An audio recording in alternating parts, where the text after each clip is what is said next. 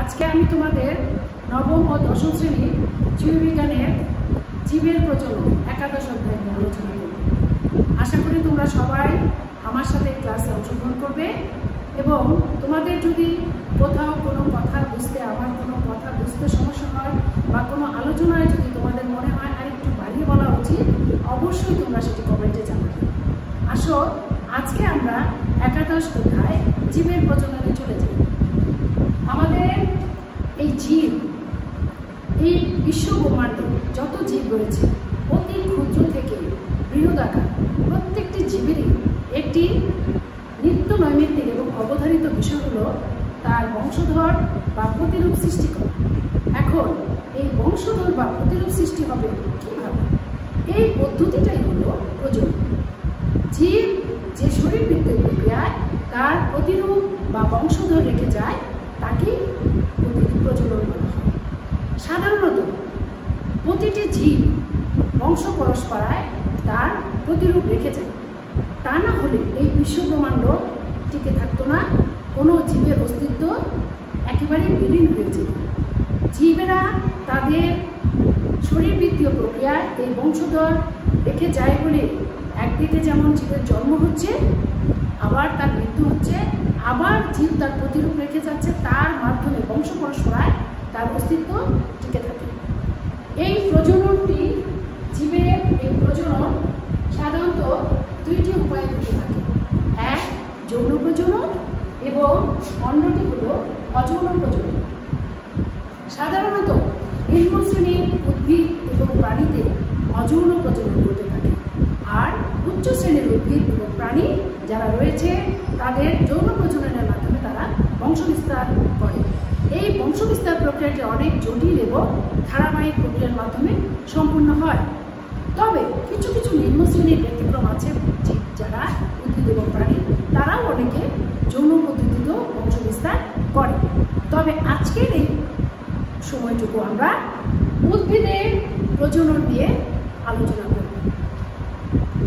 তো সাধারণত এই প্রজনন প্রক্রিয়া ঘটানোর একটি প্রধান এবং মোক্ষম উপায় হল যৌন প্রজনন। এবং এই যৌন প্রজননের সময় মিওসিসের মাধ্যমে দুটি ভিন্নধর্মী কোষ থেকে একটি জায়গট তৈরি হবে এই ভিন্নধর্মী কোষগুলো কী হবে? পুং কোষ এবং স্ত্রীজনন কোষ। পুং কোষের অনেকগুলো মিওসিস প্রক্রিয়ার মাধ্যমে তাদের যে জনন সংখ্যা থাকবে, সেখানে ক্রোমোজোমের সংখ্যা থাকবে, সেটা অর্ধেক হয়ে যাবে।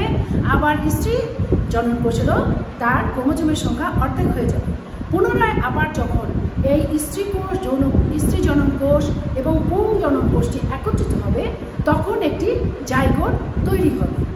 এবং এই জায়গোটটি অসংখ্য মাইটোটিক কোষ বিভাজনের মাধ্যমে অনেক ধাপ অনেক পর্যায়ে পেরিয়ে একটি নতুন জীবের জন্ম বা নতুন জীবের সৃষ্টি করবে। আসো আমরা দেখি এই যৌন প্রক্রিয়ার মাধ্যমে এই ফুলের এই প্রজননটি যেভাবে ঘটে, এখানে তার কী কী অঙ্গ প্রত্যঙ্গ আছে এবং কোন অঙ্গ প্রত্যঙ্গটি সরাসরি এই প্রজননের ক্ষেত্রে সহায়ক হিসেবে কাজ করবে এবং কোন অঙ্গগুলো প্রধান অঙ্গ হিসেবে কাজ করে। আসো আমরা জেনে নেই, একটি ফুলের, একটি আদর্শ ফুলের কয়টি প্রধান অঙ্গ রয়েছে।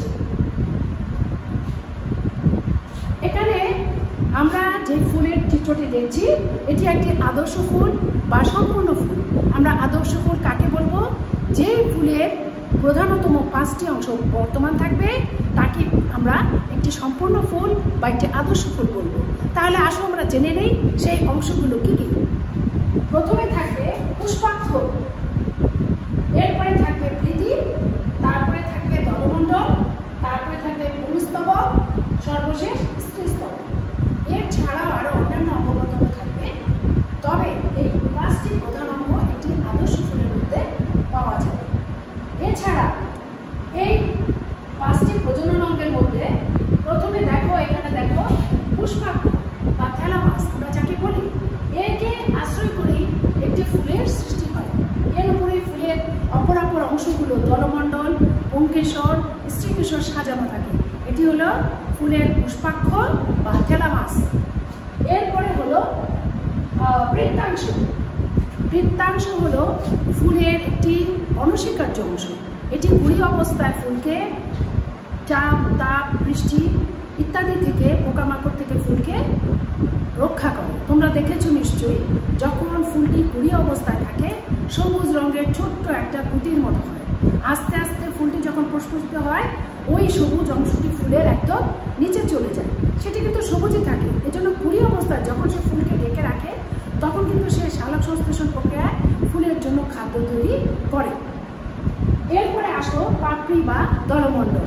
এই পাপড়িগুলোর আবার অনেক ব্যাখ্যা বিশ্লেষণ আছে। এই পাপড়িগুলো কেউ উজ্জ্বল বর্ণের হয়, আবার কেউ অনুজ্জ্বল, কেউ গন্ধযুক্ত, কেউ গন্ধহীন। তবে তোমরা জেনে রাখবে, সাধারণত যেই ফুলগুলো উজ্জ্বল, তীব্র উজ্জ্বল রঙের হবে, সেই ফুলগুলি সাধারণত একটু কম গন্ধযুক্ত হয় আর যেগুলি বর্ণহীন, সাধারণত সেইগুলো গন্ধযুক্ত হবে। কারণ কীটপতঙ্গ পোকামাকড় যারা রঙে আকৃষ্ট হয়, কেউ কেউ, আবার কেউ কেউ তাদের ঘ্রাণে আকৃষ্ট হয়। কারণ এই বংশ পরস্পরাটা রক্ষা করার জন্য যখন এই প্রজনন প্রক্রিয়া ঘটাবে কে? তাদের বাহক থাকবে কীটপতঙ্গ, পোকামাকড় ইত্যাদি আরও অনেক কিছু, যেটি পরবর্তীতে তোমরা আরও বিস্তারিত জানতে পারবে। তো এখানে এরপরে আসছে পরাগ কি বলে? পুংকেশর পুংকেশরটি হলো আসল প্রজনন অঙ্গ। এটি হলো ফুলের ভেতরে থাকে ভেতরের দিকেই সাধারণত অবস্থান করে, উন্মুক্ত অবস্থায় খুব কমই থাকে। ও মোটামুটিভাবে মাঝখানের দিকে দেখবে তোমরা, আমরা অনেক সময় ফুলের ঘ্রাণ নিলে আমাদের নাকে, হাতে অনেক সময় হলুদ রঙের কিছু পাউডারের মতো কিছু জিনিস লেগে যায়। এটাই কিন্তু আসলে রেণু, যেটা পুংকিশোরের পরাগধানের মধ্যে যে রেণুগুলো থাকে, এগুলোই কিন্তু আমরা সচরাচর দেখতে পাই এই পুঙ্কেশ্বরটার মধ্যেই কিন্তু পুং জনন কোষটা তৈরি হয়। এরপরে পুঙ্কেশ্বরের মধ্যে আবার দুইটা অংশ থাকে। একটি পরাগধানী, যার মধ্যে পরাগ রেণু থাকে, আরেকটি হলো পরাগদণ্ড, যেটি এই পরাগ ধানীটিকে বহন করবে। এরপরে সর্বশেষ যে জননঙ্গটি থাকে, সেটির নাম হলো স্ত্রী স্তবক এই যে এটা এটা দেখছ? এটা স্ত্রী স্তবক মাঝখানের, একেবারে মাঝখানের অংশটা।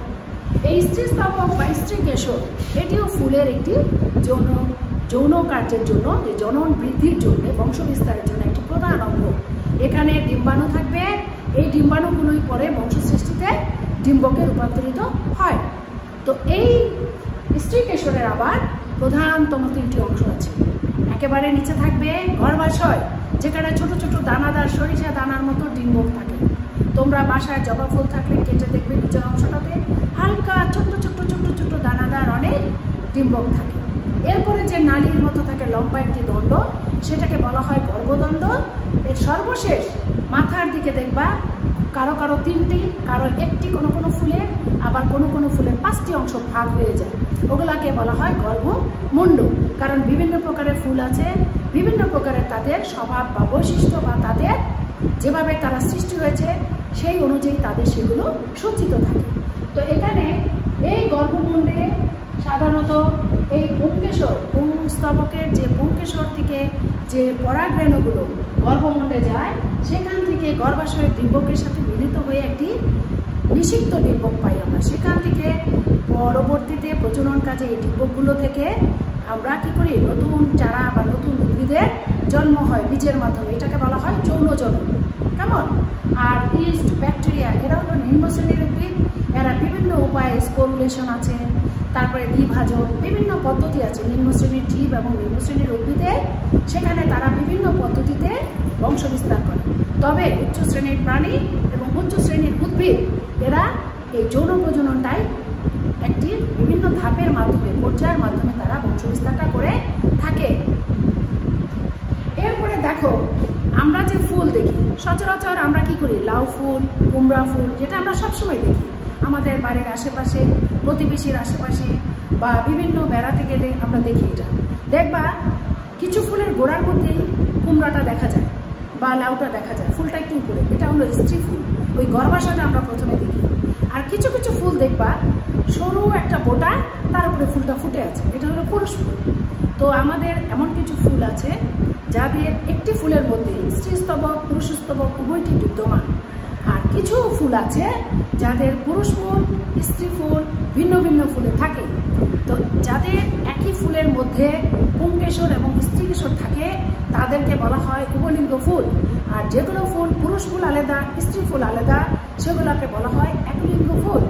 এখন সেটা একলিঙ্গই হোক আর উভয়লিঙ্গই হোক, যখন যৌন প্রজনন ঘটবে, তখন ওই পুংকেশর থেকে পরাগরেণু আর স্ত্রী কেশরের গর্ভমণ্ডে সেটাকে যেতেই হবে, যে কোনো প্রকারই হোক, এবং সেখান থেকে সে গর্ভাশয় যে ডিম্বগুলোকে নিষিদ্ধ করবে, সেখান থেকে জাইকট হবে, সেখান থেকে নতুন বীজ হবে, সেখান থেকে আমরা আবার নতুন প্রজাতি বা নতুন বংশধর পেয়ে যাব। আশা করি আমার এই ক্লাসটা তোমাদের বুঝতে সমস্যা হয়নি। এরপরে দেখো পুংকেশরের কত ধরনের বিচিত্র এই জগতে বিচিত্র ধরনের উদ্ভিদ প্রাণী আছে, তোমরা জানো, সবাই জানো। কেমন?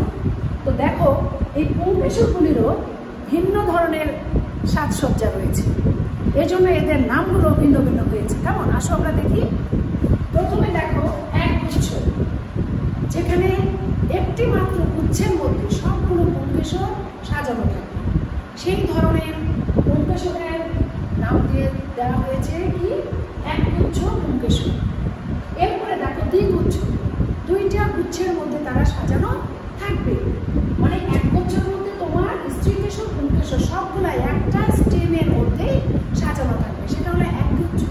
আর যেখানে পুংকেশর স্ত্রী কেশর দুইটা স্টেম থাকবে একসাথে, সেটাকে বলা হবে দ্বিগুচ্ছ পুংকেশর এরপরে দেখো বহুগুচ্ছ। যেখানে একাধিক পুংকেশর একসাথে থাকবে, সেটা হলো বহুগুচ্ছ পুংকেশর এরপরে দেখো যুক্ত ধানি। ধানি মানে কি?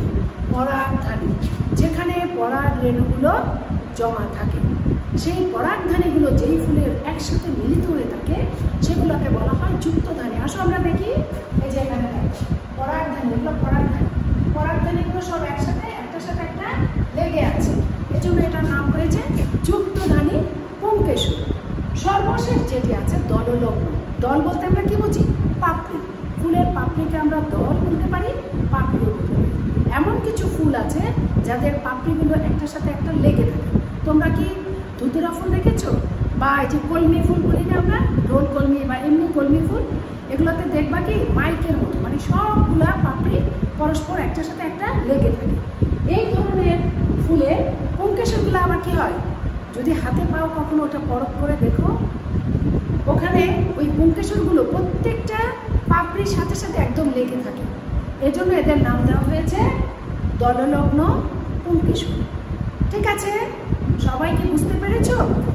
তো এই চিত্রের সাথে তোমরা একাদশ অধ্যায়টা ভাষায় একটু বইটা খুলবে এবং আমার লেকচারটা দেখবে। যদি ভালো লাগে, অবশ্যই আমি আরও তোমাদেরকে সহজভাবে বোঝাতে চেষ্টা করব। যদি তোমাদের ভালো লেগে থাকে, আমি ধন্য। এবং যদি তোমাদেরকে আরও কিছু দিতে পারতাম, আরও ভালো লাগতো, তোমরা সবাই ভালো থেকো এবং কমেন্টসে জানাবে। যদি কোনো জায়গায় কোনো ত্রুটি, বিচ্যুতি হয়ে থাকে, আমি তাপসীরা বেয়া তোমাদের সবাইকে আজকের মতো এখানেই শুভেচ্ছা জানালাম। আসসালামু আলাইকুম।